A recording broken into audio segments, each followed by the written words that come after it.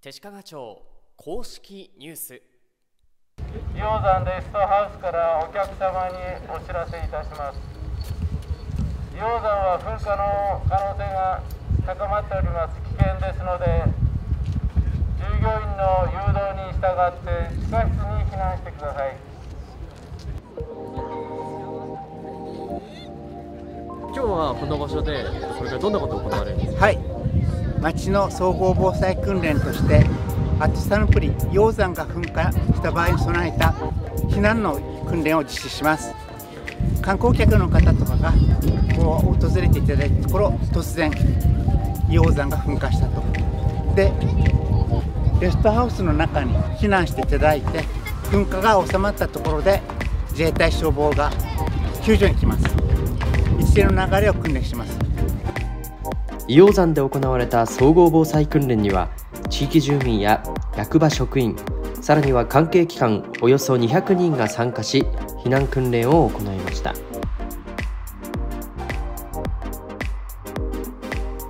さらに会場には川湯地区の小中学生も参加したほか一日防災学校が開催され炊き出しの体験や防災機材の体験などが行われ一人一人が手鹿賀町の災害と向き合う一日となりました。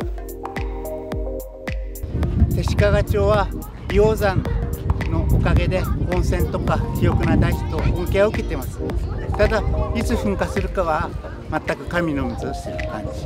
ただ噴火してもすぐ対応できるように普段から準備しておりますので安心して住民の皆さん観光客の皆さんもぜひ手鹿賀町にお越しください。失礼します。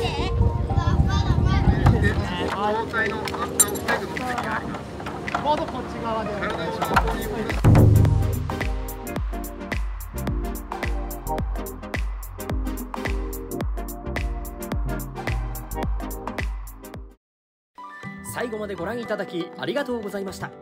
日本一の自治体運営チャンネルを目指しこれからも動画をどんどんアップしていきます。まずはチャンネル登録者数の人口超え。目指せ7000人。